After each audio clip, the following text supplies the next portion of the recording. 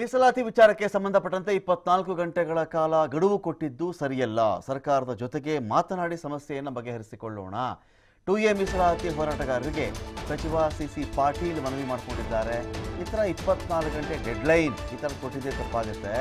ಸರ್ಕಾರದ ಜೊತೆ ಮಾತಾಡಿಕೊಂಡು ಸಮಸ್ಯೆ ಬಗೆಹರಿಸಿಕೊಳ್ಳಬಹುದಾಗಿತ್ತು ಗಡುವನ್ನು ಕೊಟ್ಟು ಮುಖ್ಯಮಂತ್ರಿಗಳ ಕ್ಷೇತ್ರದಿಂದ ಹೋರಾಟ ಮಾಡೋದು ಸರಿಯಲ್ಲ. ಪಂಚಮಸಾಲಿ ಸಮುದಾಯಕ್ಕೆ ನ್ಯಾಯ ಸಿಗುತ್ತೆ. ಗಡುವು ಕೊಡಬೇಡಿ. ಜಯಮೃತ್ಯುಂಜಯ ಸ್ವಾಮಿ ಸೇರಿದಂತೆ ಎಲ್ರಿಗೂ ಮನವಿ ಮಾಡ್ಕೊಳ್ತಾ ಇದ್ದೀನಿ ನಾನು. ಇಪ್ಪತ್ನಾಲ್ಕು ಗಂಟೆಗಳ ಕಾಲದ ಗಡುವನ್ನು ತಾವು ನೀಡಿದರೆ ಮೀಸಲಾತಿ ಕೊಡೋಕ್ಕೆ ಸಾಧ್ಯನಾ? ಸ್ವಾಮೀಜಿಯವರಿಗೆ ಮಾತುಕತೆಗೆ ಆಹ್ವಾನವನ್ನು ಕೊಟ್ಟಿದ್ದಾರೆ ಸಚಿವ ಸಿ ಸಿ ಪಾಟೀಲ್ ಅವರು. ಹೋರಾಟದ ಹಿನ್ನೆಲೆಯ ಪುಟಗಳನ್ನು ತಿರುವಿ ನೋಡಿದಾಗ ಎರಡು ಸಾವಿರದ ಇಪ್ಪತ್ತು ಜನವರಿ ಹದಿನಾಲ್ಕು ಪಾದಯಾತ್ರೆ ಅವ್ರದ್ದು ಪ್ರಾರಂಭ ಆಯಿತು ಅಂತ ನನಗೆ ಕಲಿಸ್ತದೆ I may subject to correction the dates ನಾನು ಎರಡು ಸಾವಿರದ ಇಪ್ಪತ್ತರಲ್ಲಿ ಹೋಗಿ ಭೇಟಿಯಾಗಿ ಬಂದಿದ್ದೆ.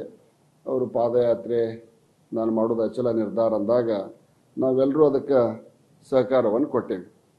ಅವತ್ತು ಇವತ್ತಿನ ಮುಖ್ಯಮಂತ್ರಿಗಳು, ಅವತ್ತಿನ ಗೃಹ ಸಚಿವರಾದಂಥ ಸನ್ಮಾನ್ಯ ಬಸವರಾಜ ಬೊಮ್ಮಾಯಿ ಅವರು ಪಾದಯಾತ್ರೆಗೆ ಬೇಕಾದಂಥ ಸಂಪೂರ್ಣ ಸಹಕಾರವನ್ನು ಒಬ್ಬ ಗೃಹ ಸಚಿವನಾಗಿ, ರಾಜ್ಯದ ಒಬ್ಬ ಪ್ರಭಾವಿ ಮಂತ್ರಿಯಾಗಿ ಸಂಪೂರ್ಣವಾದ ಸಹಕಾರವನ್ನು ಏಳ್ನೂರ ಐವತ್ತು ಕಿಲೋಮೀಟರ್ ಉದ್ದದ ಪಾದಯಾತ್ರೆಗೆ ನಾವು ಕೊಟ್ಟೇವೆ.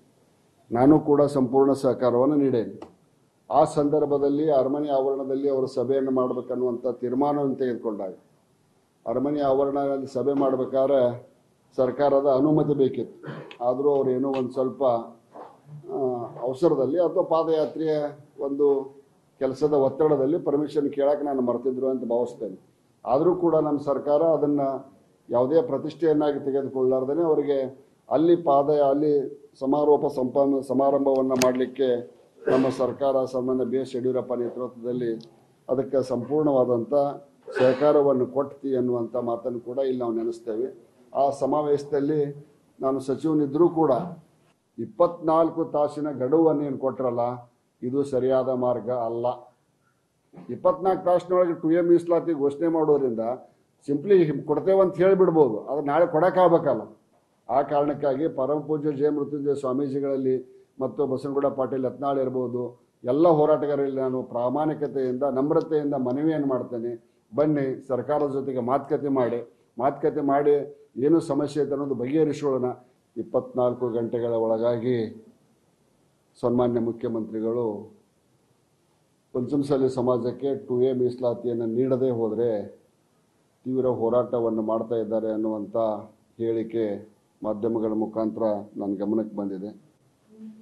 ಪರಮಪೂಜ್ಯ ಜಯ ಮೃತ್ಯುಂಜಯಗಳ ಒಂದು ಹೋರಾಟವನ್ನು ಆ ಸಮಾಜದ ಒಬ್ಬ ವ್ಯಕ್ತಿಯಾಗಿ ಮತ್ತು ಸರ್ಕಾರದ ಒಂದು ಭಾಗವಾಗಿ ನಾನು ಅಭಿನಂದಿಸ್ತೇನೆ. ಭಾಳ ಗಟ್ಟಿ ಮನಸ್ಸಿನಿಂದ ಹೋರಾಟವನ್ನು ಅವ್ರು ಮಾಡಿದರು. ತಿಳಿಸ್ಕೊಡೋಕ್ಕೆ ಇದೀಗ ಸ್ವಾಮಿ ಇದ್ದಾರೆ ಸ್ವಾಮಿ, ನಂದು ದೊಡ್ಡ ಪ್ರಶ್ನೆ ಏನು ಅಂತ ಹೇಳಿದ್ರೆ, ಇಪ್ಪತ್ನಾಲ್ಕು ಗಂಟೆ ಒಳಗಡೆ ಗಡುವು ಕೊಟ್ಟಿರೋದು ಸರಿಯಿಲ್ಲ ಅಂತ ಹೇಳ್ತಾ ಇದ್ದಾರೆ. ನಾವು ಹೇಳ್ಬಿಡ್ಬೋದಲ್ಲ ಕಟ್ಟಿ, ಕೊಟ್ಟಿದ್ದೀವಿ, ಮೀಸಲಾತಿ ಕೊಟ್ಟಿದ್ದೀವಿ, ತೊಗೊಂಡು ಹೋಗಿ ಅಂತ ಹೇಳಿ. ಹಾಗೆಲ್ಲ ಕೊಡೋಕ್ಕೆ ಬರಲ್ಲ ಅಂತ ಹೇಳಿ ಅಲ್ಲಿಗೆ ಸಿ ಸಿ ಪಾಟೀಲರು, ಇದು ಮೀಸಲಾತಿ ಕೊಡ್ತಕ್ಕಂಥ ಪ್ರಶ್ನೆ ಇಲ್ಲಿಲ್ಲ ಅನ್ನೋದನ್ನು ಸೂಚಿಸ್ತಾ ಇದೆಯಾ ಇದು ಒಂದು ಕಾರಣ? ಈಗ ನೀವು ಇಪ್ಪತ್ನಾಲ್ಕು ಗಂಟೆ ಗಡುವು ಕೊಟ್ಬಿಟ್ರೆ ಇಪ್ಪತ್ನಾಲ್ಕು ಗಂಟೆ ನಾವು ಹೇಳೋಕ್ಕಾಗತ್ತಾ ಅಂದಮೇಲೆ, ಮತ್ತು ಅವ್ರು ಕ್ಯಾಬಿನೆಟ್ ಮೀಟಿಂಗ್ ಮಾಡಿದ್ದು, ಅನೌನ್ಸ್ ಮಾಡಿದ್ದು ಆ, ಮಾಧುಸ್ವಾಮಿ ಅವ್ರು ಪ್ರೆಸ್ ಮೀಟ್ ಮಾಡಿದ್ದು ಇದೆಲ್ಲ ಯಾಕೆ ಮಾಡಿದ್ರು? ಹಾಗಾದರೆ ಟು ಎ ಮೀಸಲಾತಿ ಇವ್ರಿಗೆ ಇಲ್ವಾ? ಆಯಿತು ಒಂದು ವೇಳೆ ಇಲ್ಲ ಅಂದರೆ ಟು ಡಿ. ಟು ಡಿ ಬಗ್ಗೆ ಆದರೂ ಕ್ಲಾರಿಟಿ ಕೊಡಬೇಕು. ಏನು ಟು ಡಿ? ಇದರಲ್ಲಿ ಯಾವ್ಯಾವ ಜಾತಿಗಳು ಬರ್ತವೆ? ಎಷ್ಟು ಮೀಸಲಾತಿ ಇಲ್ಲಿ ಸಿಗುತ್ತೆ ಇವ್ರಿಗೆ? ಇದು ಟು ಎ ಥರನೇನಾ ಅಥವಾ ಇದು ಬೇರೆನಾ? ನಮ್ಮ ಕೈಲಿ ಕೊಡೋಕ್ಕಾಗತ್ತೆ ಅಂತ ಹೇಳಬೇಕು ಇಲ್ಲ ಆಗಲ್ಲ ಅಂತ ಹೇಳಬೇಕು? ಅದು ಬಿಟ್ಬಿಟ್ಟು ಬೇರೆಲ್ಲ ಮಾತಾಡ್ತಾ ಇರ್ತಾರಲ್ಲ ಯಾಕೆ ಅಂತ ಸ್ವಾಮಿ?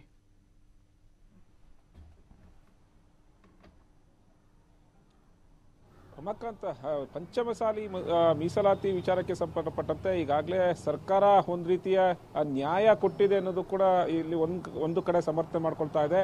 ಆದರೆ ಪಂಚಮಸಾಲಿ ಸಮುದಾಯದ ನಾಯಕರು ಮತ್ತು ಹೋರಾಟ, ಮೀಸಲಾತಿ ಹೋರಾಟಗಾರರು ಸರ್ಕಾರದಿಂದ ಸಮರ್ಪಕವಾದ ನಮಗೆ ಉತ್ತರ ಸಿಕ್ಕಿಲ್ಲ. ಮೀಸಲಾತಿ ಕೂಡ, ಮೀಸಲಾತಿ ಬಗ್ಗೆ ಕೂಡ ನಮಗೆ ಸಮರ್ಪಕವಾದ ವಿವರಣೆ ಸಿಕ್ಕಿಲ್ಲ ಎಂಬ ವಿಚಾರಕ್ಕೆ ಮತ್ತೆ ನಮಗೆ ಟೂ ಡಿಗೆ ಸೇರಿಸಿದಂಥ ಒಂದು ಏನು ಹೊಸ ಪ್ರವರ್ಗ ರಚನೆ ಮಾಡಿ ಪಂಚಮಸಾಲಿ ಸಮುದಾಯವನ್ನು ಟು ಡಿ ಪ್ರವರ್ಗಕ್ಕೆ ಸೇರಿಸಿ ಅಲ್ಲಿ ಮೀಸಲಾತಿ ಕೊಡ್ತೀವಿ ಅನ್ನೋದು ಏನು ಎಂಬ ಹೇಳಿಕೆಯನ್ನು ಸರ್ಕಾರ ಕೊಟ್ಟಿತ್ತು. ಅದಕ್ಕೆ ವಿರುದ್ಧವಾಗಿ ಇನ್ನೂ ಸಮರ್ಪಕವಾಗಿ ನನಗೆ ಉತ್ತರ ಸಿಕ್, ನಮಗೆ ಉತ್ತರ ಸಿಕ್ಕಿಲ್ಲ. ಹಾಗಾಗಿ ನಮ್ಮನ್ನ ಟು ಎಗೆ ಪ್ರವರ್ಗದಡೆ ಸೇರಿ, ಸೇರಿಸಿ ಅನ್ನೋದು ಕೂಡ ಪಂಚಮಸಾಲಿ ನಾಯಕರ ಒಂದು ಹೋರಾಟಗಾರರ ಒಂದು ಹೇಳಿಕೆ ಆಗಿದೆ. ಹಾಗಾಗಿ ಅಲ್ಲಿ ಇರುವಂಥ ಒಂದು ಕೆಲವೊಂದು ಇನ್ನೂ ಕೂಡ ನಮಗೆ ಸಮಸ್ಯೆಗಳಿದೆ, ಇನ್ನೂ ನಮಗೆ ಕ್ಲಾರಿಟಿ ಸಿಕ್ಕಿಲ್ಲ. ಆ ಟೂ ಡಿ ಪ್ರವರ್ಗದಡಿ ಯಾವ ಯಾವ ವಿಚಾರಗಳು ಮೀಸಲಾತಿಯಡಿ ಬರ್ತವೆ ಅನ್ನೋದು ಕೂಡ ಇನ್ನೂ ನಮಗೆ ಸಮಂಜಸವಾಗಿ ಆ ಮಾಹಿತಿ ಸಿಕ್ಕಿಲ್ಲ. ಹಾಗಾಗಿ ನಮಗೆ ನಾವು ಕೇಳಿದಂತ ಅಂದ್ರೆ ತ್ರೀ ಇಂದ ಟೂ ಎಗೆ ನಮ್ಮನ್ನ ಸೇರಿಸಬೇಕು, ಮೀಸಲಾತಿಗೆ ಸೇರಿಸಬೇಕು ಅಂತ ಏನು ಬೇಡಿಕೆ ಇಟ್ಟಿದ್ವೋ, ಅದರ ಅಡಿಯೇ ನಮಗೆ ಮೀಸಲಾತಿ ಕೊಡಬೇಕು ಅನ್ನೋದು ಕೂಡ ಮತ್ತೆ ಆ ಪಂಚಮಸಾಲಿ ಸಮುದಾಯದ ನಾಯಕರು ಸರ್ಕಾರಕ್ಕೆ ಒಂದು ನೇರವಾಗಿ ಒಂದು ಎಚ್ಚರಿಕೆ ಕೊಟ್ಟಿದ್ದಾರೆ. ಜೊತೆಗೆ ಇಪ್ಪತ್ನಾಲ್ಕು ಗಂಟೆಯ ಕಾಲ ಒಂದು ಗಡುವನ್ನು ಕೊಟ್ಟಿರೋದು. ಮೀಸಲಾತಿ ಗಡುವು ನಮಗೆ ಮೀಸಲಾತಿ ನೀಡಲಿಲ್ಲ ಅಂದ್ರೆ ಮತ್ತೆ ನಾವು ಸರ್ಕಾರದ ವಿರುದ್ಧ ಹೋರಾಟ ಮಾಡ್ತೀವಿ ಅನ್ನೋದು ಕೂಡ ನೇರವಾಗಿ ಒಂದು ಎಚ್ಚರಿಕೆ ಕೊಟ್ಟಿರೋದು. ಈ ಹಿನ್ನೆಲೆಯಲ್ಲಿ ಇವತ್ತು ಸಚಿವರಾದಂತಹ ಸಿ ಸಿ ಪಾಟೀಲ್ ಕೂಡ ಸುದ್ದಿಗೋಷ್ಠಿ ಮಾಡ್ತಾರೆ. ಈ ಸಂಬಂಧಪಟ್ಟಂತೆ ಸಾಕಷ್ಟು ಒಂದು ಮನವಿಯನ್ನು. ಮಾಡ್ತಾರೆ. ಅಂದ್ರೆ ಪಂಚಮಸಾಲಿ ಸಮುದಾಯದ ಹೋರಾಟ ಉಸ್ತುವಾರಿಯನ್ನು ವಹಿಸಿಕೊಂಡಿರುವಂತಹ ಜಯ ಮೃತ್ಯುಂಜಯ ಸ್ವಾಮೀಜಿಗಳಿಗೆ ಹಾಗೂ ಎತ್ತಾಳ್ ಅವರಿಗೆ ಸರ್ಕಾರ ನಿಮ್ಮ ಜೊತೆ ಇದ್ದೀವಿ. ಸರ್ಕಾರದ ನಾಯಕರಾಗಿ ಜೊತೆಗೆ ಸಮುದಾಯದ ಸಮುದಾಯದ ನಾಯಕರಾಗಿ ನಾವು ಕೂಡ ಇದರಲ್ಲಿ ಇದೆ ಪಾಲ್ಗೊಂಡಿದ್ದೀವಿ. ನಮಗೂ ಕೂಡ ಆ ಖುಷಿಯಾಗುತ್ತೆ ಈ ಹೋರಾಟದಲ್ಲಿ ಪಾಲ್ಗೊಳ್ಳೋಕ್ಕೆ ಆದರೆ ಗಡುವು ಕೊಡೋದು ಎಷ್ಟು ಮಟ್ಟಿಗೆ ಸರಿ? ನೀವು ಬನ್ನಿ ಸರ್ಕಾರದ ಜೊತೆ ಮಾತಾಡೋಣ. ನೀವು ಗಡುವು ಕೊಟ್ಟಿರೋದು ತಪ್ಪು. ಹಾಗಾಗಿ ಒಂದು ದಿವಸದ ಗಡುವು ಕೊಟ್ಟರೆ ನಾವು ಯಾವ ರೀತಿ ಇದನ್ನ ಮೀಸಲಾತಿ ವಿಚಾರ ಮೀಸಲಾತಿ ಜಾರಿಗೆ ತರ ತರಬೇಕಾಗುತ್ತೆ? ಇದಕ್ಕೆ ಸಾಕಷ್ಟು ಕಾನೂನಾತ್ಮಕ ಹೋರಾಟಗಳಿದೆ. ಸಿಎಂ ಕೂಡ ನಿಮ್ಮ ಜೊತೆ ಇದ್ದಾರೆ. ಬೆಂಬಲ ಸೂಚಿಸ್ತಾ ಇದ್ದಾರೆ.